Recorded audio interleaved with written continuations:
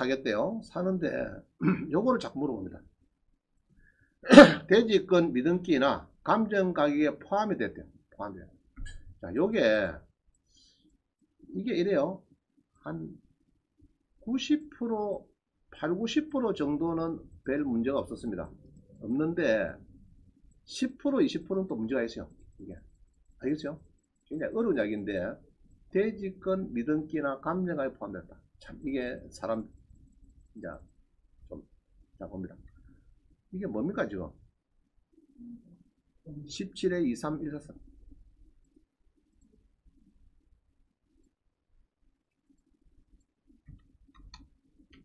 2, 2, 2, 4, 1, 4, 3. 1, 4, 3 맞습니까?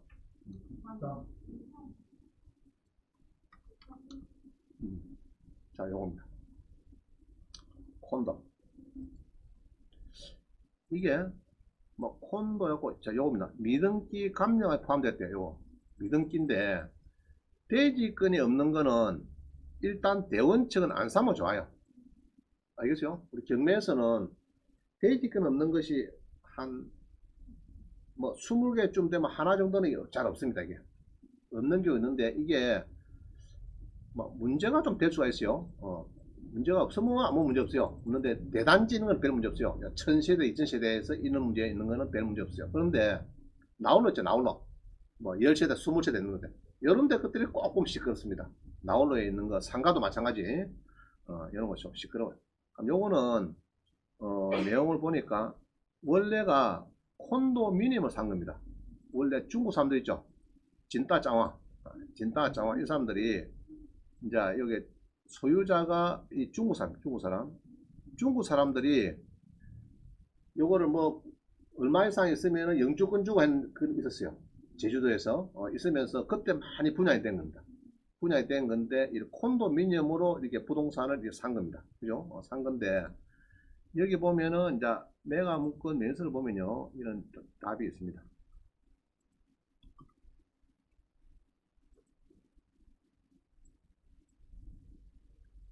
대지권 미등기나 포함이 되었습니다.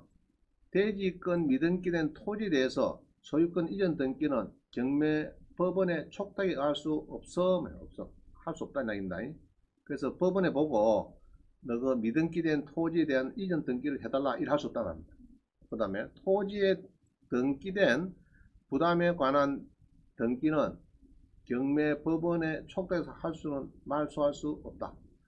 채무자 회사의 관계의 문의 본건에 본건은 채무자 회사 소유자에게 어, 위탁을 받아서 하고 있고 채무자가 이제 물어보니까 어, 숙박업소 리조트로 할 계획이나 현재 영업이 안 되고 있다 이런 겁니다. 그래서 이런 거는 일단은 사는 거는 좀 부적절해요. 제가 볼 때는 어, 이거는 콘도로 쪽으로 해운권을 분양해 또 이런 이런 게 있거든요. 그럼 여기서 채무자에서 이제 이 소유자들이 이 사람들이 있다가 이 중국 사람들이 쭉 이 사람들이 이제 아마 리드해갖고 하는 것 같아요. 뭐 리조트 형식으로 해갔는데 이거를 낙찰받기는 조금 좀 문제 있지 않느냐 보여집니다. 자, 그래서 이런 경우에는 또 특히 여러분들 마찬가지 이런 경우를 볼 때는 좀 애매하고 이런 것들은요 요거는 한번 보세요 동일 번지 매각 하는 거 있죠 그럼 요거를 꼭 볼 필요가 있어 동일 번지 매각을 눌려 가지고 그동안에 이 팔린 이 사례가 있습니다 42% 35% 35% 그럼 요것들이 가끔 등기가 잘 돼가 있는지 돼가 있으면 서로 같이 문제가 없어요 보통 보면은 이런 것들은 옆에 호수를 해보든지 주로 경매니까 어, 경매에서 낙찰된 거를 여러분들이 한 번씩 어, 조사를 했어요. 보면 좋아요. 알겠죠? 낙찰된 호수 어, 대지권에 대해서는 그러나 여기에 등기부를 띄보고 세계가 어떻게 흘러갔는가 이걸 볼 필요가 있습니다. 자, 그 다음에 여보 뭐 우리 구독션 해놨네. 본건은 형사상황은 집합 건물의 한 호실을 경매하는 것이지만은 법원 자를 보면은 실제로 콘돔의 회원권을 경매하는 성격의 물건을 갈 수는 없다. 따라서 낙찰자는 특정한 부동산을 매입하는 것이고 회원권이 회원됐을 때 콘도 이용 조건, 혜택, 의무, 비용 등에 관해서 관리자 아까 리조트에서 있었죠. 어, 물어보고 입찰을 결정해야 되겠는데 향후 운영 방식, 정상 운영 가능을 알아보고 입찰을 잘 하셔야 될 것 같다. 그래서 좀 부정적입니다. 이런 거는. 알죠? 그래서 이런 거는 여러분들이 조금, 어, 금액이 싸다고 덜렁덜렁 받을 게 아니고 조금 더 잘 따져봐야 됩니다. 돈이 뭐 3억씩이나 들어가야 되기 때문에. 자, 그래서 여기에 이제 이런 이야기입니다. 수 분양자가 분양 대금을 완납하지 않았을 경우에 건축주는 분양 대금을 완납할 때까지 동시행 항변권을 주장할 수 있다. 대금 판례입니다. 그럼 이 문구가 중요해요. 이제 분양받은 사람이 우리가 분양 대금을 않는 이 중요합니다. 근데 경매는 그걸 알 수가 없어요.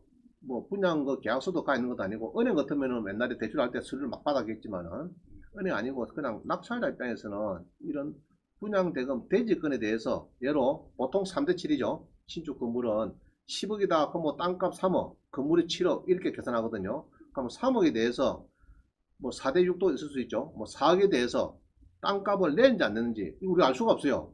안 냈으면은 시행사에서는 돈을 줄 때까지 우리는 지분을 안 주겠다 할 수 있는 겁니다. 그러면은 이제 그거를 감안해서 낙찰받는다 이런 이야기입니다. 어, 이게 중요한 이야기고요. 그래서 이게 대지권 관련해서 이렇게 해서 어, 대지권은 아파트 상가 문제점이 많다 제가 해놨죠. 또 수인하는 수- 경우도 있고 피박도 있더라. 그죠? 수인한 사례 뭐 등등 있는데 이런 거를 잘 봐야 되는데 특히 요, 요한 봅니다. 이런 경우는 별 문제 없어요. 똑같은 내용인데 20에 21094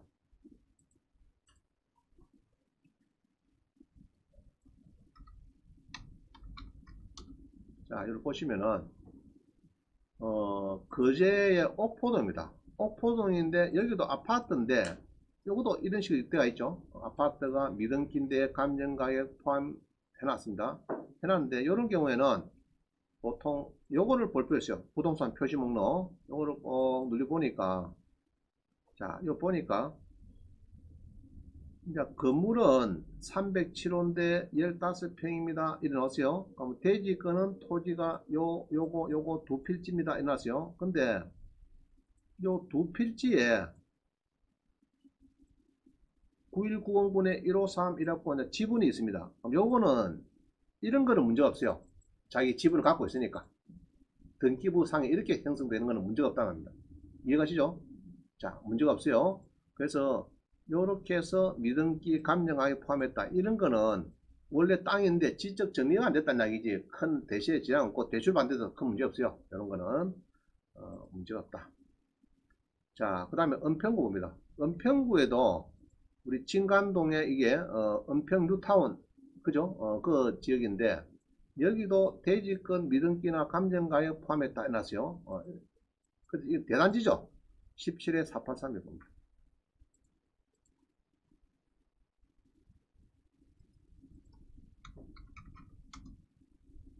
자, 이렇게 해서 은평구, 뉴타운, 그죠? 뉴타운에 요것도 대지권 미등기 이렇게 나왔어요. 어, 근데 건물이 팔립니다. 팔리는데, 우리 은평 아시죠? 뉴타운 지구, 그죠? 어, 대단지가 이렇게 뭐, 뭐, 있습니다. 은평에. 아주 뭐, 좋죠. 호흡, 뭐, 조성, 은평 뉴타운, 상림 마을이네. 자, 요리 되어 있는데, 여기도, 어, 대지권 얘기가 나왔어요. 나왔는데, 문건 면에서 보니까, 나왔어요.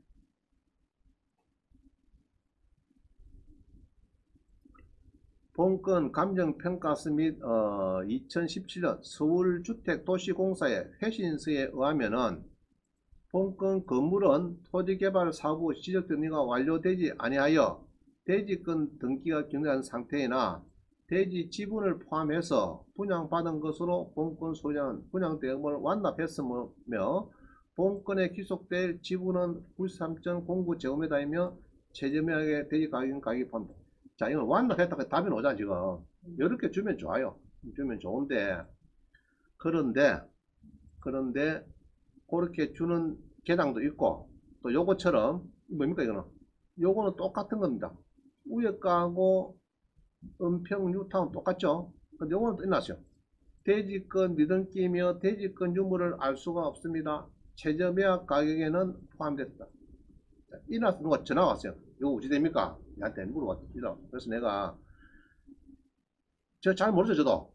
그럼 아까 뭐 본다 했죠 제가? 낙찰된 거를 본다. 낙찰된 거. 그럼 그거를 자, 자, 19에 3, 4, 8 해보겠습니다.